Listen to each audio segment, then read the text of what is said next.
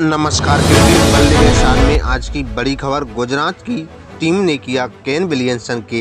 replacement का ऐलान Gujarat titles की टीम ने दिल्ली कैपिटल्स के खिलाफ दूसरी जीत के बाद ही उसने एक बड़ा ऐलान कर दिया है क्योंकि टीम के स्टार खिलाड़ी केन विलियमसन चोट के कारण आईपीएल 2023 से बाहर हो गए हैं इसलिए टीम ने उनकी जगह श्रीलंका टीम के वनडे टीम के कप्तान दसुन सनाका को अपनी टीम में शामिल किया क्योंकि Kane Williamson Chennai super king के खिलाफ खेली गई पहली मैच के दौरान चोटिल हो गई थी